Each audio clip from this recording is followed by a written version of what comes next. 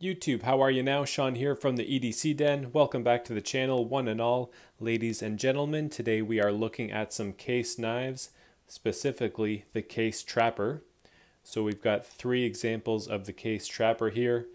This one here with the blue jig bone, you've seen that one on the channel a few times. For anybody who's returning to the channel, you're probably familiar with this one. This was my first case knife. I got this one mm, maybe six or seven years ago and I've since added two more case trappers to the collection. So in the middle we've got the yellow synthetic smooth trapper and just over here we've got the black double canvas laminated trapper. All three of these knives are in cases Tru-Sharp stainless steel as opposed to their CV steel. The Trapper is just a fantastic traditional pattern. It is one of my favorites, probably my top favorite actually, and Case does do them quite well. So let's take a look at these. We won't spend too much time on this one since, like I said, it's on been on the channel before. You can go back and check out some other videos to find this one. Just a great traditional EDC knife all around on Case's website, they do mention that this knife is for everyday use, um, hunting, farming, and camping. So they actually break it down per blade, actually. So the clip blade that we have here, they consider this an everyday blade and a camping blade. Over here with the spay blade, they consider this one everyday use uh, farming use, and hunting.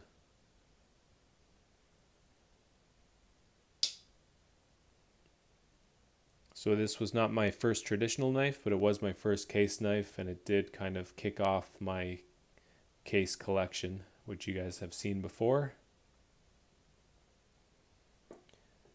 This smooth yellow synthetic, this one just made a, a really quick cameo in a recent video, but we haven't taken a close look at it yet.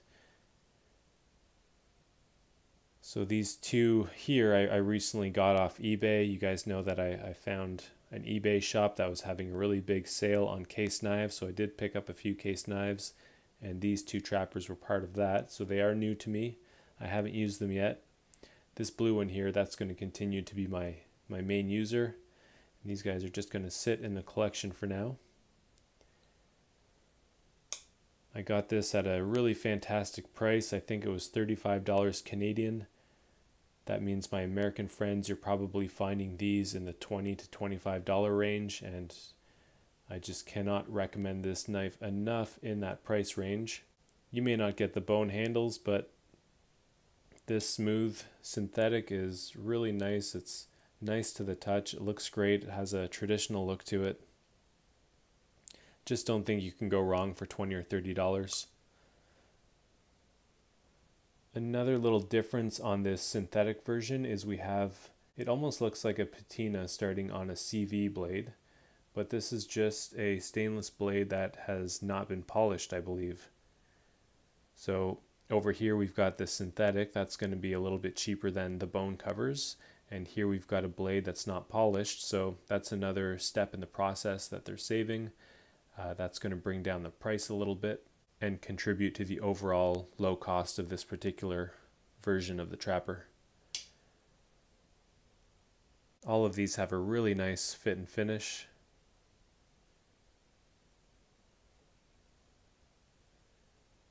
Nice centering, no rubbing. Centering's not perfect, but there's no rubbing. Everything's so nice and smooth on this one. This one here, the double canvas, we have not seen this one on the channel yet. Really nice shield on this one. Is that one called the hot dog shield? It definitely resembles a hot dog a bit. I think that's a little nickname for that style of shield. So double canvas. I'm not sure where the double comes in, but the canvas, we can see this kind of fibrous material as the handle cover. I'm thinking this is what Case calls their micarta double laminated canvas. Looks to me like a version of micarta. Please let me know in the comments if you have more information about this cover material. It is quite smooth. You do see that in traditional knives quite often when they use micarta. It's completely hard and smooth, almost plastic-like. You can feel you might just be able to pick up a little bit of texture there, but for the most part it is completely smooth. This one has the blades polished, unlike the yellow synthetic, but this one also has the polished blade. Let's take a quick look at the polished blade versus the unpolished. So on the top we have the unpolished blade. It almost has a tumbled kind of stonewashed look. And on the bottom is the polished version of the same blade, same steel. These two newer ones here, they both have kind of rough edges and that is typical of case knives. It's quite easy to take care of the rough edge with just a ceramic stone. I'll try and show you what I'm talking about here with this little kind of microfiber cloth.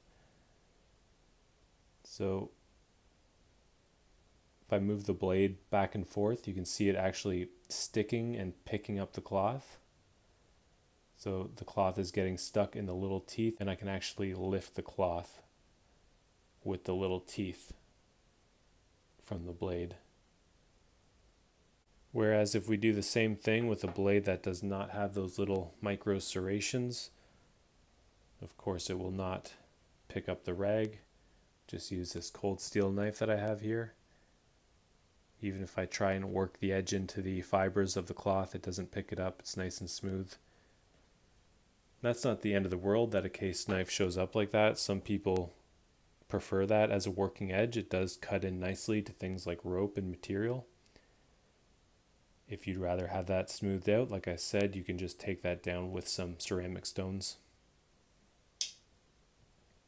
Please let me know in the comments which one you prefer. If you like to go with the bone covers or the synthetic or something like the canvas over here. And what about the trapper pattern in general? Are you guys trapper guys? I'm certainly a trapper guy. I think for me it's a competition in my collection between trappers and stockmans. I think I'm going to do that video actually.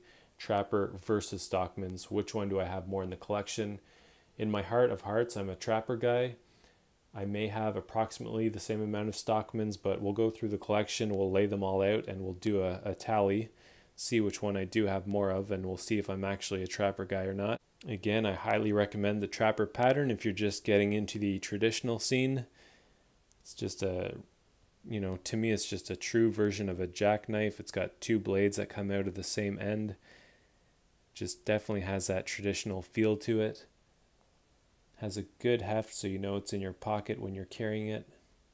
And these can also be carried in a sheath, and I should have mentioned this earlier, but the eBay store that I bought these from, you know, it was a big sale, they were going out of business, and the gentleman included some free case badges and sheaths for the trapper. So let me just go grab a sheath so I can show you guys that.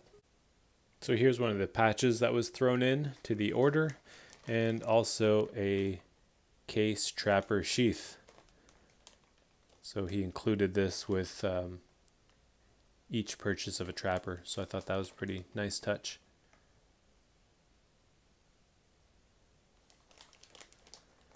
I think I'm going to keep this one packaged up. You never know if this might end up in a giveaway on the channel one day.